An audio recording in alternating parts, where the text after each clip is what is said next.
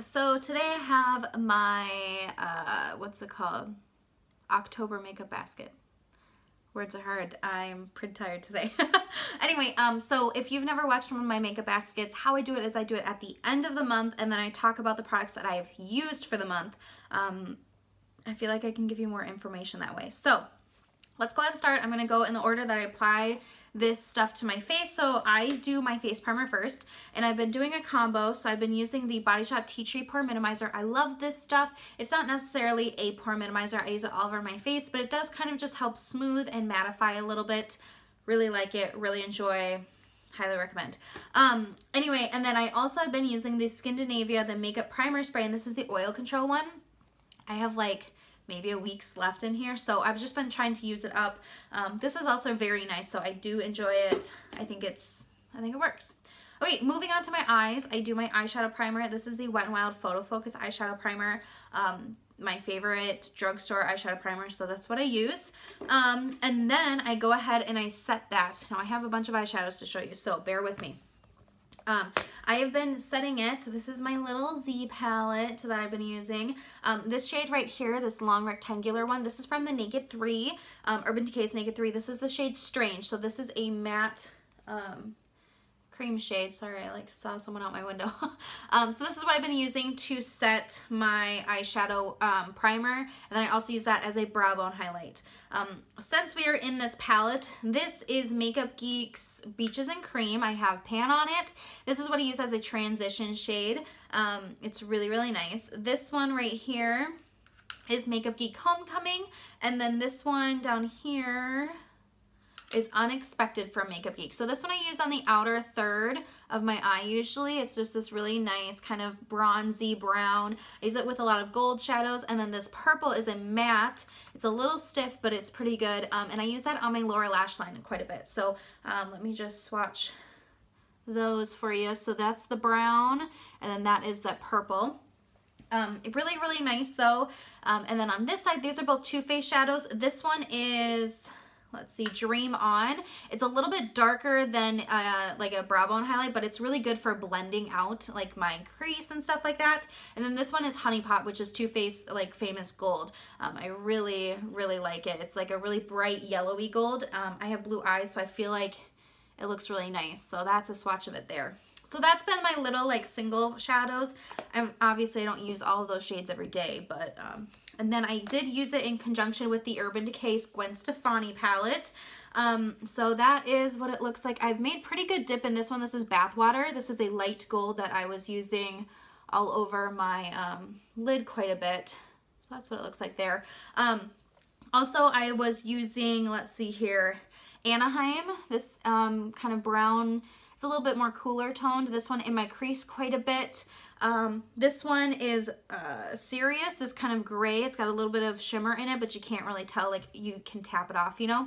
I was using that to set my liner. Um, and then this shade Punk, this is so pretty, and it's usually not a color I really go to. It's like a deep eggplant, but kind of red almost.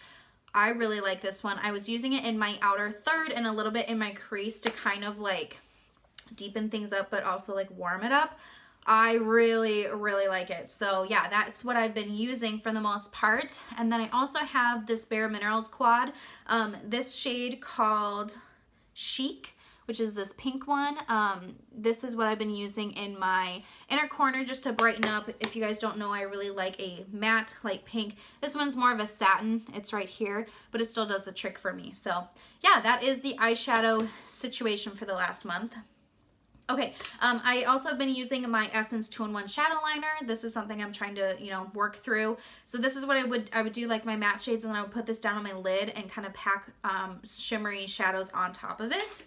Um, and then for eyeliners, I have the Laura Geller Ink Credible in Blue Moon. I am almost done with this, spoiler alert. So this should be done um, and I'll be on to another one in the next makeup basket, which is cool.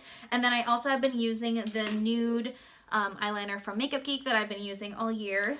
And then for my mascara, I opened up a new mascara. This is the Essence Lash Princess Sculpted Volume. So it's the purple, it's new.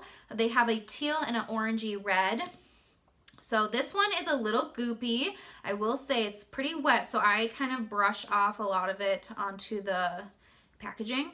So this is what the wand looks like. It's like a twisted kind of wand. It's natural bristle, um, but it's kind of curved. I really like it, actually. I wasn't too sure about it the first couple times. Like I said, it's pretty wet, so I feel like, let's see, I opened it about a week ago. So I feel like once it kind of dries out, it'll probably be really nice, but um, just know that it's kind of wet to begin with.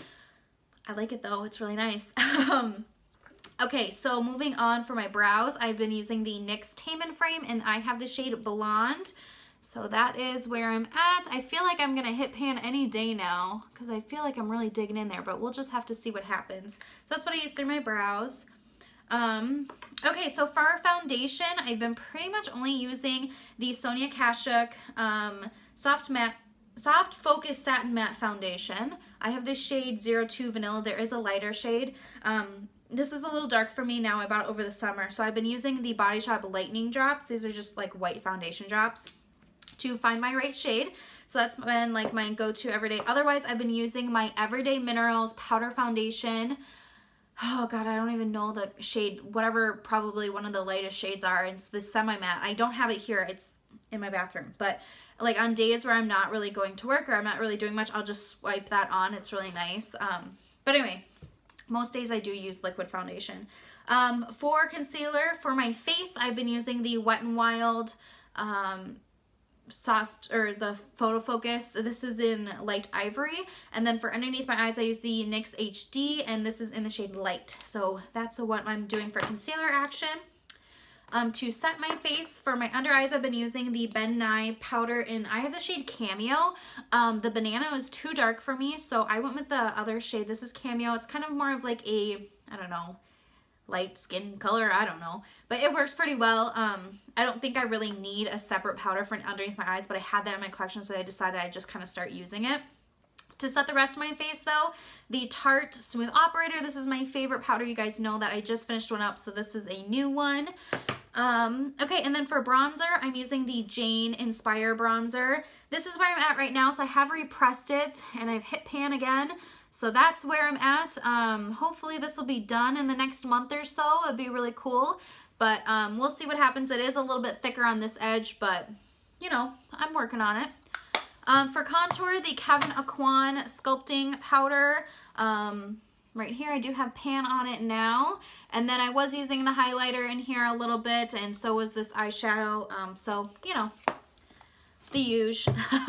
and then for blush, I'm still working on the Too Faced um, I Will Always Love You blush in this palette. So it's this one, this peachy shade. Um, so yeah, that's what it looks like there. Let's get a little swatch for you. Um, so that's it there. I mean, it's really nice. It's a good everyday shade. It pretty much goes with everything. It adds a little bit of warmth, but it's not too crazy. For my highlighter, um, other than the one I was using in the Kevyn Aucoin palette, um, the Laura Geller Baked um, French Vanilla Highlight. I really love this. This I sweep everywhere, so yeah, really good stuff. Um, and then I set my makeup with the Urban Decay All Nighter Makeup Setting Spray. I'm back to using this guy. And then for my lips, I don't have my um, lipstick here. I left it at work. But I've been using the Urban Decay Rush. Um, that for me expires in January of 2018. So I want to use it. Um, I mean, I'm not using it every single day, but I'm trying to focus on it a little bit. I don't think I'll finish it all the way, but that's fine. Otherwise, I've been using the Bare Minerals Boss. I just have the mini size. This is their liquid lipstick. I do have it on my lips today. It is so pretty as just an everyday, goes with everything kind of color. I really love it. Um, I would definitely think about buying the full size of this. It's so good. And the formula, it dries down, but it's not like, it doesn't stick to your lips as much as other liquid lipsticks do. It's not as drying. It's really creamy. I love it. So yeah, that is all I have for you for today. I hope you guys enjoyed and I will see you guys in my next one.